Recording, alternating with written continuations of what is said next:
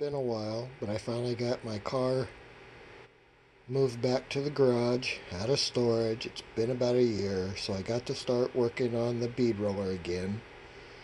I just need to find something to mount the bead roller to, but the motor mechanism is completely done. So it's off.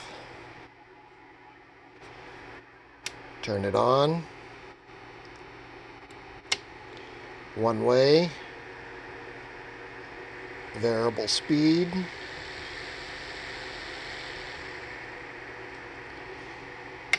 And reversible.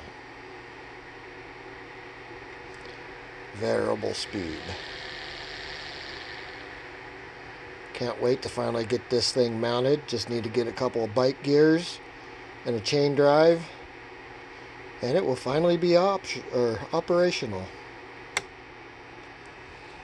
Been waiting forever to get this thing done and my car back to the garage. The car I'm restoring and needing to do a bunch of body work to is a 59 Ford Anglia. And I need to make a bunch of panels.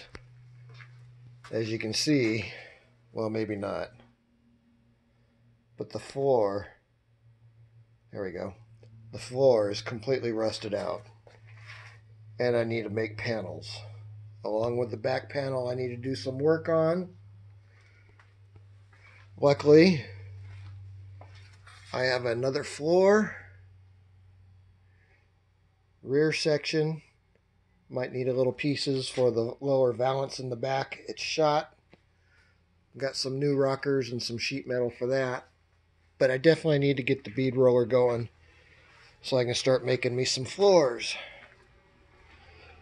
Next time I do a video, I will have my foot pedal hooked up, the chain hooked up, and show it operational.